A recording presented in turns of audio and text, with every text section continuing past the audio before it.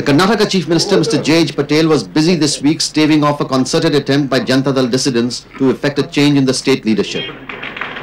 The crisis, which has been brewing for some time now, took a serious turn when the former Prime Minister and Janata Dal leader Mr. H.D. Deve Gowda in effect became the rallying point for the disgruntled party workers and legislators. Analysts were quick to ask whether Mr. Deve Gowda was in fact trying to recapture a political base which seemed in the recent past fast slipping away from his grasp. Although the Chief Minister and senior Janata Dal leader Mr. J.H. Patel was confident he would be able to muster positive vote of confidence on the floor of the Assembly, dissident legislators wanted to shift the battleground to the Legislative Party meeting.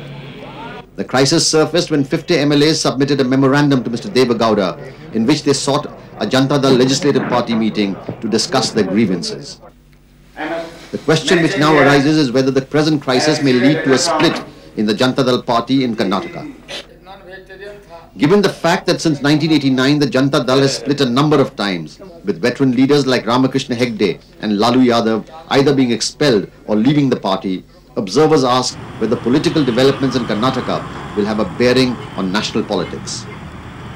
Although senior Janata Dal leaders in Delhi are confident that the issue in Karnataka will be resolved amicably, skeptics maintain that both the BJP and the Congress